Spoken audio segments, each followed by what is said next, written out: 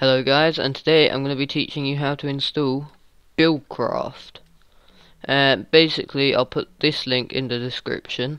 So yeah, and then if you hit download here for the exe file, or the zip if you don't want the direct file, so you wait the 5 seconds on AdFly, then you're going to hit the skip the ad button, and hit save, and it will go to your downloads folder and I've already got it in here so if I open that up like I have here you'll get something small like this.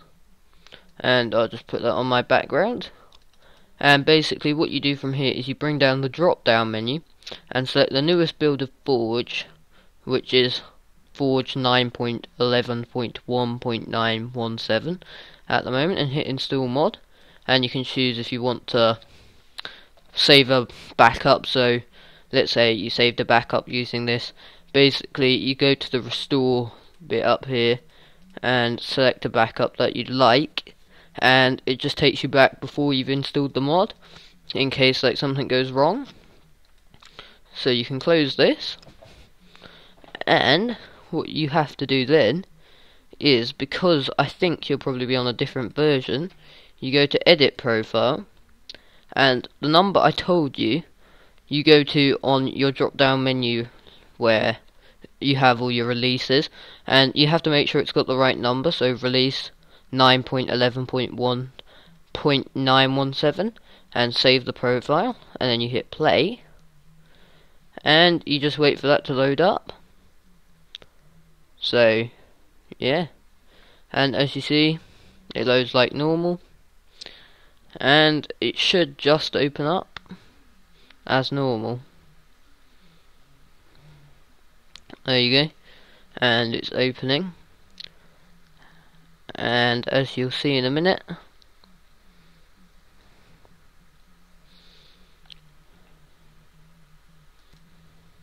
it has the Buildcraft mod as you can see down here Buildcraft, Minecraft Forge, Forge Loader and Minecraft Coder Pack. This is the one that's most important. And as you can see, I could go into a world right now and just have a little look. As you can see here, just get rid of that message.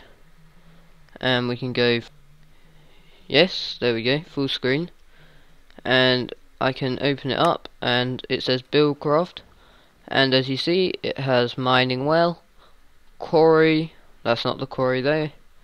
This is the quarry. Landmark to mark out your quarry. The gears to make stuff for your quarry and all the machines. And all the extra blocks you have here.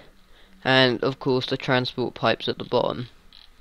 So it's just a neat little feature that you get with it. So I could just take out anything that's Take out a chute. Not, I've never actually used this before, but I'm not sure if you can place it or not.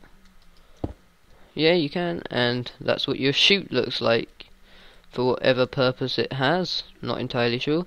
So, thanks for watching my tutorial on how to get Buildcraft. Hope it helped you. The links will be in the description. Bye!